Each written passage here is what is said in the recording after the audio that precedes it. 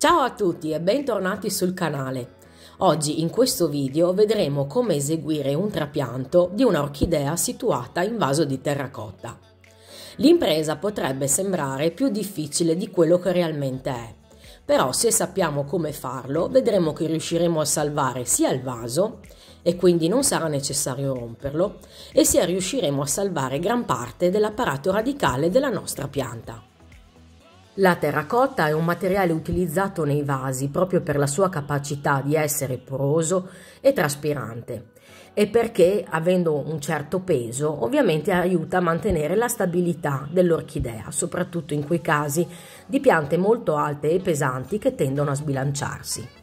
Tuttavia il rinvaso non è semplice come una qualsiasi altra pianta d'appartamento perché le radici delle orchidee si aggrappano in particolar modo su questo tipo di supporto.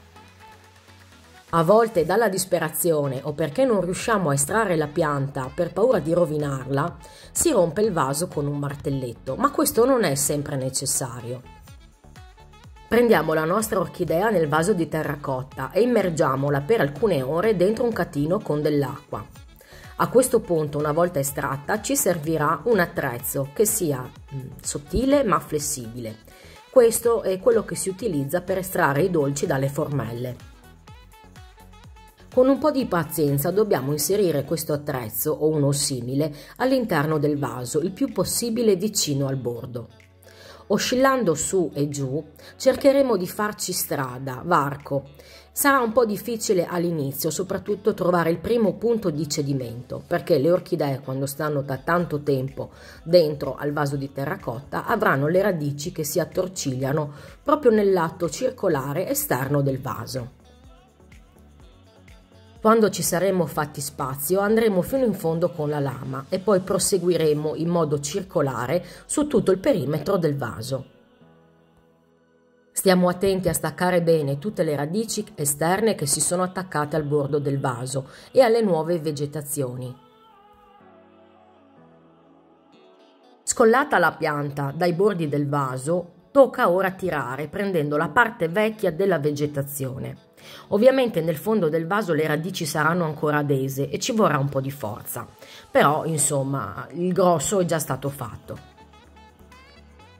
Si procede ora alla normale pulizia dell'apparato radicale, alla pulizia accurata del vaso che va ben lavato con una paglietta ed eventualmente anche in acqua e candeggina se fosse necessario perché magari la pianta aveva un problema, per poi essere riutilizzato.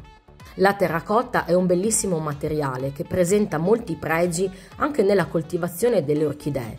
Va sempre però valutato il suo utilizzo nella prospettiva del momento del rinvaso, perché ovviamente è più elaborato rispetto a un semplice rinvaso in vaso di plastica e quindi da valutare bene sia per quelle piante che sono particolarmente delicate nel momento del rinvaso e sia per quelle che magari hanno per loro natura un apparato radicale scarso che noi vogliamo quindi assolutamente preservare.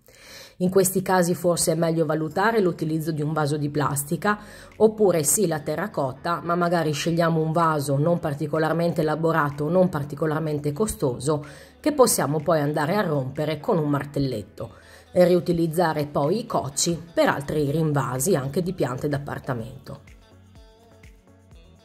Questa lelia purpurata aveva un estremo bisogno di essere rinvasata perché pur essendo il coccio materiale traspirante vediamo che qui molte radici sono andate a deperimento. E quindi insomma andavano rimosse. E infatti di bark ce n'è quasi niente qui dentro è stato come posso dire mangiato dalla pianta. E quindi insomma aveva proprio bisogno di una bella ripulita.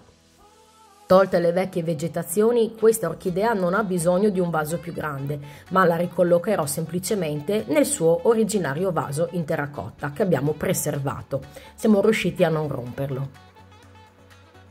Ed eccoci qua al lavoro concluso. Intanto la pianta è rimasta asciutta tutta la notte affinché eh, le radici potessero cicatrizzare tutte quelle micro lesioni che si creano normalmente durante un rinvaso e a maggior ragione da un rinvaso in terracotta. La pianta adesso finalmente è sistemata, la parte vecchia appoggiata al bordo del vaso e quella nuova che avrà spazio per correre, per crescere nei prossimi anni. Fammi sapere nei commenti se anche tu utilizzi i vasi di terracotta oppure ne hai un po' di timore. Ti auguro una buona giornata. Ciao, alla prossima!